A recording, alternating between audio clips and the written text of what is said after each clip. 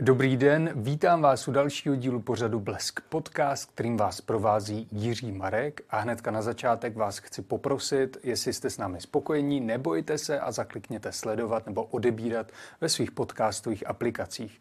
A dneska mám tu čest, že je tu se mnou vítězka Magnézie Litera za blok roku a velmi ten blok doporučuji, sám jsem si v noci početl.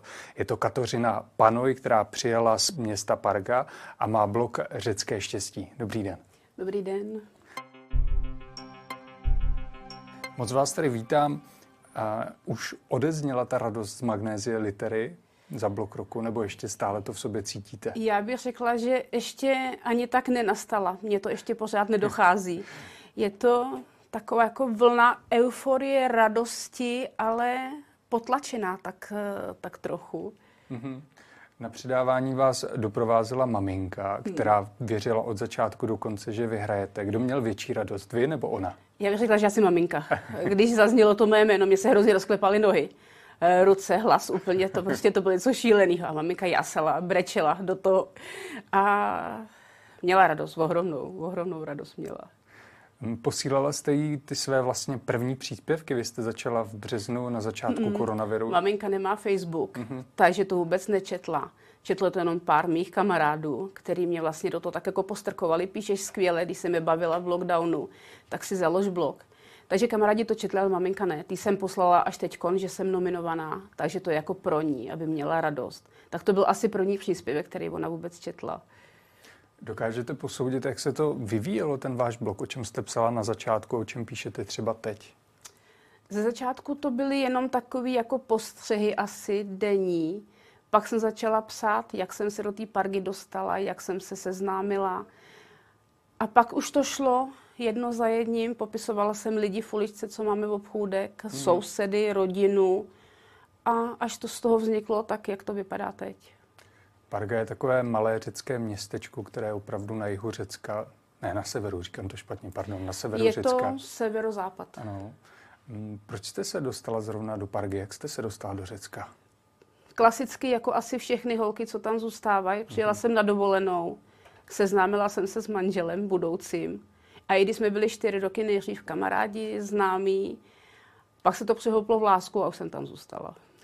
Co se vám na začátku před těma 22 lety říkám? 22 lety. Správně na manželovi, který se jmenuje Kosta, bylo?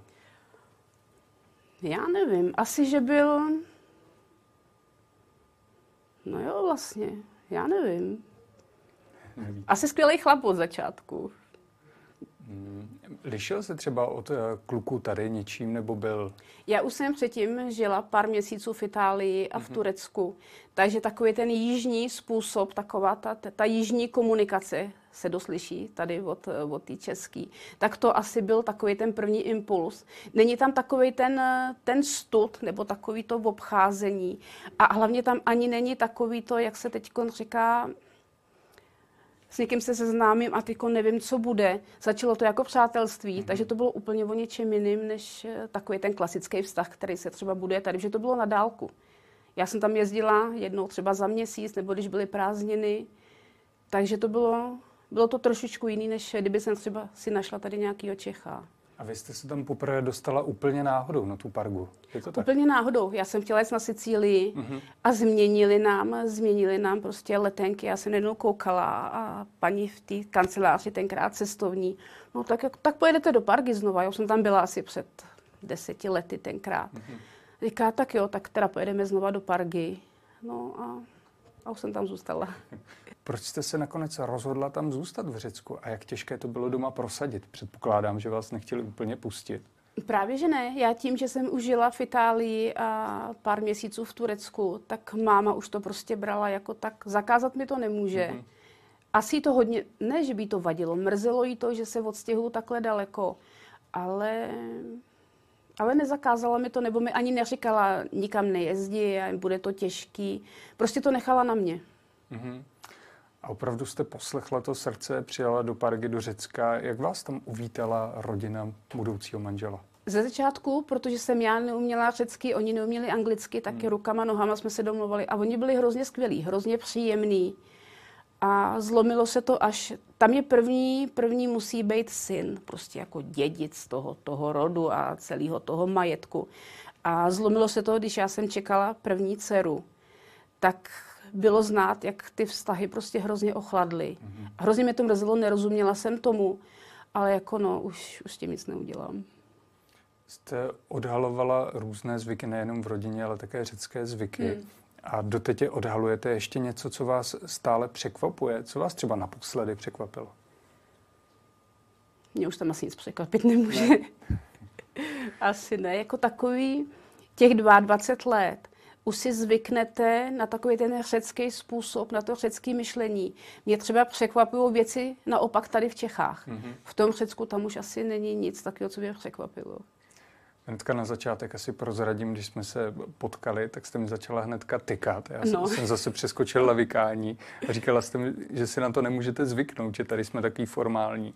V Řecku je to, tam si tykají všichni. A třeba když jsem přišla poprvé k doktorovi, tak, jako, tak mi tykal. A já tak jako zůstala koukat jako doktor a tyká mi. A, ale je to tam úplně normální, prostě i mezi cizíma lidma. A je to možná příjemnější, ne zrovna u toho doktora, ale někam jdete a prostě v okamžitě, a všichni jsou kamarádi najednou. Mm-hmm.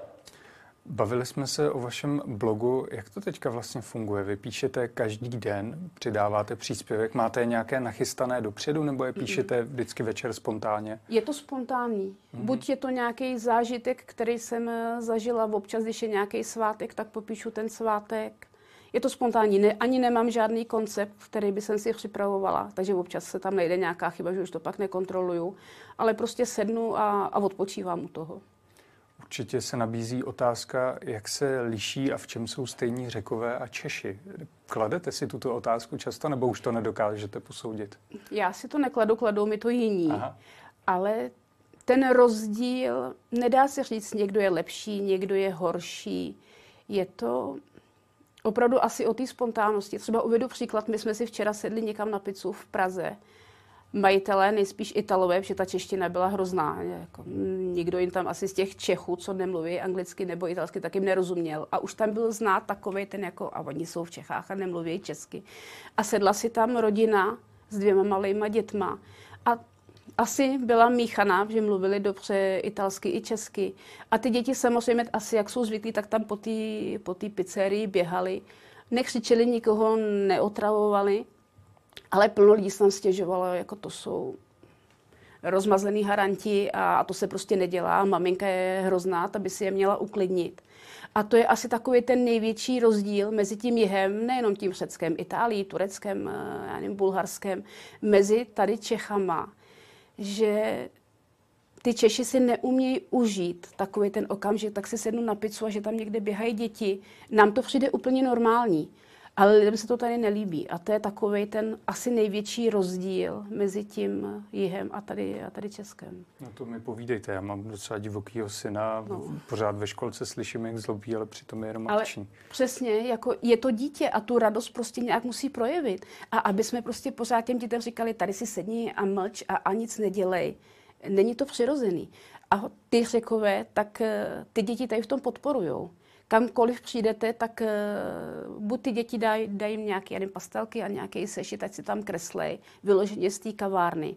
A nebo je tam nechají běhat. Děti se tam dostanou do kuchyně a já nevím, kamkoliv můžou se podívat, něco si tam vyberou a, a je to úžasný. Hm.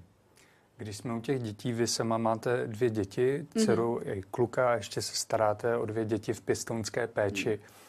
Jak to všechno zvládáte? Práci, vedle toho ještě čtyři děti, Pejska, který je docela aktivní. No, Pejsek je hodně aktivní. A ještě, ještě do toho vlastně psát blog. Jako zvládnout se to musí. A navíc děti už jsou, nebo ty moje vlastní, už jsou větší. Ani je 18, bude jí 18, synovi je 15, takže i pomáhají s těma mladšíma. A, a musí to fungovat navzájem, prostě nemůže to nikde drhnout.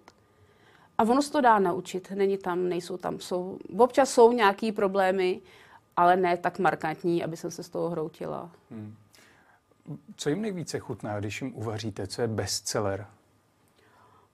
No, no, každý dítě je něco jiného, takže třeba vaříme tři chody. Dcera nejstarší, ta nejí vůbec maso. syn zase nejí zeleninu. Je, to má se ta prostřední nefély, ta z té pěstonské péče, tak ta dělá to, co dělá naše dcera. A naštěstí malý Ája, tak ten sní úplně všechno. Máte to složitý. Je třeba nějaké jídlo tradiční české, které mají rádi? Mm, taky asi ne. Taky ne. Mm-mm. Je to takové, je to tak opravdu promíchaný. Třeba vánoční eh, české jídlo, bramborový salát a buď kapr nebo řízek. Mm-hmm. Tak si nejí ten salát, dcera nejí ani řízek, ani toho kapra. Takže jako fakt se nedá říct, co je takový to top pro všechny. Máte to složité. V jednom rozhovoru, myslím, že to bylo pro web i60, jste říkala, že ve svém blogu často zobrazujete, jak mizí z Řecka tradice a jak i se mění ta města. Když jste přijela hmm. do Pargy, tak jste popisovala, že to bylo opravdu bílé město, hmm. ne barevné, jak jsou teďka lidé zvyklí. Co, je, co stojí za tou zkázou eh, těch měst, těch tradic? Určitě turismus. Hmm. Lidi se snaží prodat to tu dovolenou někomu ten, ten čas, snaží se, aby to bylo v souladu s tím, co ty turisté chtějí. A taková ta tradice, takový to klasický, bohužel musí musí trošku do pozadí. Hmm. A ještě někde v Řecku místo, které je opravdu klasicky řecké? Určitě. Pokud to není někde na popřeží, anebo takový tako vyloženě turistický, turistické letovisko, tak v těch horách nebo ve vnitrozemí, tak se ještě pořád žije po staru. Mně to přijde trošku jako paradox, poněvadž ve svém bloku píšete o tom, že mm, turismus zabíjí Řecko ty tradice, ale na druhou stranu vás třeba živí tím, Určitě. že prodáváte turistům. Určitě. Jiný řešení bohužel není, hmm. protože těch, těch míst, kam se běžní turista, nejenom z Čech, ale z celé, z celé Evropy, z celého světa může podívat, tak je hrozná spousta, to je nepřeberné množství. A ty místa, třeba právě jako je Parga, se musí snažit a nabízet víc a víc, aby tam eh, ty lidi jezdili ne jednou, aby se tam podívali po druhý a po třetí, což se hodně děje, zvlášť třeba v té parze. Ale to využití je úplně jiná doba, než bylo před 60 lety, co tam ten turismus začínal. Dřív jim tam stačila pláž a, a slunečník. Ale teď už chtějí golf a teď už chtějí, já nevím, nějaký skluzavky pro děti a tím se to asi mění. Dokážete ještě uvést příklad, které třeba zvyky vymysleli z té pargy za tu dobu, co vy tam jste? Z pargy těch zvyků ani moc nevymizelo, přece jenom parga je maličká, tak se snaží, snaží se ty zvyky udržovat. Ale třeba kroje, to už se tam nevidí. Mm-hmm. Dřív, když jsem tam třeba před těma 20 lety, tak většina těch starých žen nebo vdov ty kroje měla. Ale zvyky jako takový ne, protože i to tahne ten, ten turismus. Ale třeba ve velkých městech tam už se tak neslaví.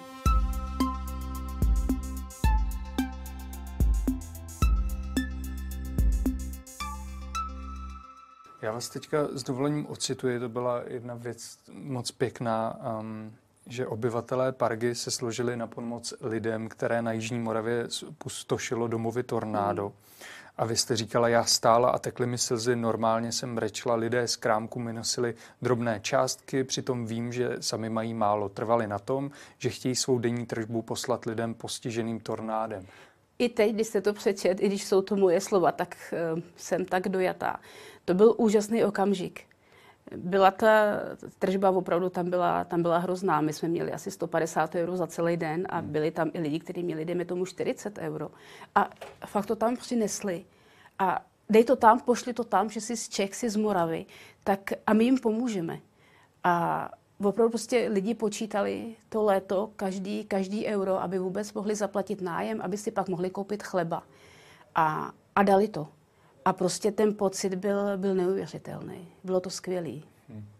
A přinesli to z toho důvodu, že jste tam tak zapadla, že věděli, že jste z Česka? Hmm. Hmm. Protože samozřejmě jezdí tam za mnou Češi a povídám jim, vyprávím jim uh, o Čechách. Takže věděli, jako kam to půjde. A byla jsem hrozně ráda. Bylo to, bylo to úžasný od nich. Je to něco jako běžného na řecích, že jsou takhle solidární, že jsou takhle hodní? Na těch vesnicích ještě pořád jo. Hmm. Třeba právě, když jsem zmiňovala ten lockdown, díky kterému jsem začala psát, tak tam bylo běžné, že se na ploty věšely igelitové tašky, plátěný nějaký, nějaký pytle s jídlem, s oblečením, že ten lockdown tam byl o hodně tvrdší než tady. Nesmělo se z vesnice do vesnice. A lidi si takhle pomáhali. Prostě kdo co měl, tak pomohl tomu, tomu druhému, tomu sousedovi. A i ta pomoc jako všeobecně je tam, je tam velká. Hmm, druhý blok, u kterého jsem se dojal, tak bylo, když jste popisovala, eh, s čím přišla, přišlo jedno z dětí, kdy nevěděla, jak se má chovat eh, k ruskému kamarádovi. Byl to hmm. kamarád nebo kamarádka, teď se omlouvám, nejsem Kamarádka. si jistý. Vy jste mu to moc hezky vysvětlila, tak jestli byste to mohla přiblížit, o čem to bylo. Slavili jsme, slavili jsme narozeniny a volala mi maminka. Bylo to přesně po tom pár dní, po tom, co začala válka. A lidi na ně koukali tak ne divně, ale trošku otažitě, asi nevěděli, jak se mají chovat. A ona mi volala, hele Káťo, já tam tu dcerku nepošlu, prostě je to, je to nepříjemný, jí se, ona se možná bude cítit nepříjemně. A náš malý Ája, protože má kamaráda z Ukrajiny a slyšel ve škole, prostě ve školce, co se děje, tak, tak se asi bál, že prostě a já jsem říkala, hele, pošlí tam, jsou to prostě děti, znají se, znají se, znají se roky, tak, eh, tak to nebude problém. A Ajovi jsem prostě řekla, že i kdyby tady ta Iriny potkala malýho voloďku, tak se budou skovat do bezpečí, že to jsou prostě děti a, a nemají ponětí o tom, co je válka. Přesně tak. Já jenom s dovolením to, až najdu, docituji, tak eh, vy jste tam popisovala, co každé to dítě umí a to mě překvapilo, jak mm. moc je to kosmopolitní, to město, že tam jsou opravdu různé národnosti. A, takže třeba stejně tak Ali, kterému se říká Ali z toho důvodu, protože jeho syrské a muslimské jméno neumí nikdo vyslovit a Sara holčička, nebo už spíš mladá slečna, která si nosí na párty a návštěvy vlastní krabičky sídlem, protože její víra je košer, což nebrání ostatním dětem jí ty krabičky s nadšením výdat. A takhle vlastně popisujete ta parga je vlastně z polovičky, jsou tam smíšený manželství. A ty děti to berou úplně normálně. Tam i já třeba prostě nerozlišuju, jestli někdo je muslim, jestli je někdo žid. A naopak takový ty jejich tradice a ty, ty svátky, tak eh, pro nás je to něco skvělého. A děti to berou úplně normálně. Vy to popisujete trošku jako ráj na zemi, to městečko. Eh, ten blok je trošku naivní, já jsem taky trošku naivní. Samozřejmě, že to není ráj, není to úplně ideální, ale v tom bloku popisuju takový ty lepší zážitky a ty lepší, lepší pocity, protože lidi mají svých starostí dost. Eh, ta nálada celosvětová, celoevropská je dost mizerná, bych řekla. Tak se snažím ukázat, že i když je ten svět prostě takový, jaký je, že pořád ta radost tam může být. A také popisujete něco, u čeho já se velmi bavím, že když jste v Řecku, máte řeckého manžela, žijete v malém městečku, já v Praze, tak stejně cítím to stejné, co vy mnohdy. Že hmm. se dokážeme takhle naladit na stejnou Určitě. vlnu. Jako ono je úplně jedno, jestli žijete v Praze nebo v Parze, nebo kdekoliv prostě jinde. Záleží asi na člověku, jak si to dokáže užít a jak se dokáže přizpůsobit eh, tomu místu. Zmiňoval jste, že ti vaši sledující jsou taková pavlač, kde vlastně vám odepisují, píší vám, gratulují vám, když jste získala teďka tu cenu. Eh, cestují za vámi taky. Hmm, a už za vámi byli, když jste psala, když jste začínala v tom březnu, když byl lockdown a očekáváte i letos? Letos očekávám asi tu návštěvnost o něco větší, mm-hmm. protože přece jenom plno lidí mi píše, Parga je nádherná a píšeš tak krásně, že tu Pargu chceme poznat. Ale bylo to od začátku. Od začátku lidi vyhledávali nebo by psali, my jsme v Parze, my bychom vás chtěli potkat. Tady si mě v tom krámku vyhledali. A, a vždycky to bylo úžasné. Bylo to vždycky spontánní, spontánní setkání a ty lidi jsou hrozně příjemní na tom blogu. A já jsem ráda, že se mi to povedlo. Dá tam dohromady takovou tu skupinu, která si, která si sedla a, mají si i co říct mezi sebou. Očekáváte, že vydáte knížku z toho vašeho blogu? Dostala jste na to teďka 50 tisíc korun z Magnézy Litery. Knížka už měla být uh, hotová. Mám to slíbený od kamaráda, tak jestli se na nás kouká, mu to pošlu, tak jako aby se bohybnul. doufám, že jo, doufám, že ta knížka vyjde. I plno čtenářů toho bloku se ptá, ať na tu knížku se těší. Tak opravdu doufám, že se to povede a že se bude líbit. Hmm. Máte už představu, jak bude třeba koncipovaná, poněvadž vy přispíváte každý den, těch příspěvků je opravdu hodně. Hmm. Za ten rok a půl jich je tam asi 400, možná, možná víc. Hmm. A zatím si to ještě nedodu představit. Chtěla bych to asi pojmout tak chronologicky, jako je to na tom bloku. A možná z toho bloku už by byly dal, další dvě knížky. A uvidí se časem, jestli se prodá ta první a bude pokračování, tak byla by jsem ráda. Hmm. Vy sama máte ráda třeba nějaký jiný blok? Čtete příspěvky někoho jiného? Já jsem třeba ze začátku žádný bloky nečetla. Přece jenom toho času nebylo tolik, anebo z toho Řecka se neměla takový takovej přehled. Mm-hmm. Mám ráda třeba, já nevím, Facebooková matka. To je tak jediný asi, na co si vzpomenu. Čtu jich o něco víc, ale já si ty názvy nepamatuju. Vždycky tam něco najdu a, a přečtu si to. Hmm, myslíte si, že by byl váš blog populární i v Řecku, kdybyste ho psala v řečtině? Mám tam dost řeků, kteří třeba vyrůstali, vyrůstali v Čechách a vrátili se zpátky do Řecka. A oni jsou z toho celkem nadšení, že někdo popisuje tu jejich zemi v takovém tom příjemném duchu jako mm-hmm. já. Takže myslím, že asi jo. Jeden z největších stereotypů, který jste dokázala vyvrátit, byl ten, že řekové jsou líní. Tak jsou líní nebo pracovití, jak to je? To byl asi možná i takový ten poput, proč jsem to začala psát, hmm. protože mě to vždycky hrozně štvalo. Tam eh, v létě je běžný, že ty řekové dělají 12-14 hodin bez přestávky, bez jedinou dne volna a prostě hmm. musí. A i na těch olivách, to je, to je nepředstavitelně, nepředstavitelně těžká práce. A líní určitě nejsou. Ono je to možná bráno tak, že v poledne se zavře a je taková ta siesta. Ale ono, když je 42 stupňů ve stínu, a tak jako na těch olivách nebo někde dělat nějakou cestu, to se prostě nedá. A co dělají řekové v zimě? Když je to velké město, tak chodí samozřejmě do práce. Pokud je to klasický letní letovisko, jako je Parga, tak eh, opravují se domy, opravují se hotely, dělá se něco na domě, to, co se nestihlo v létě, a pak jsou hlavně olivy. Mm-hmm. Musí se to, musí se ten pozemek vyčistit, musí se natáhnout sítě, což je nepředstavitelně opravdu těžká práce. A pak se ty olivy sklízí. Takže práce se tam vždycky najde. Vy se také staráte o olivy? Máme taky olivový sád. Já se tam jenom tak jako chodím dívat. Já bych tu práci nezvládla. Já jsem se nezeptal, co dělá váš manžel za práci. Manžel dělá číšníka, měl pronajatou restauraci, ale, ale pustil to a dělá tam vyloženě jenom, jenom číšníka, už není majitel. To se nedalo utáhnout. Mm-hmm. Daně a bylo i málo turistů, tak, eh, tak se to vyřešilo takhle. Jak vlastně covid zasáhl Řecko? Je to tam znát, že opravdu nepřijížděli turisté? Bylo. Práce vlastně byla ty poslední dva roky jenom tři měsíce což je hrozně málo. Mm-hmm. Normálně sezóna trvá 5-6 měsíců a z toho se musí ušetřit eh, na zimu, protože tam nějaká jako sociální podpora buď neexistuje, nebo je hrozně malá. Takže lidi opravdu musí v létě přemýšlet o tom, co, co, budou, co budou dělat v zimě.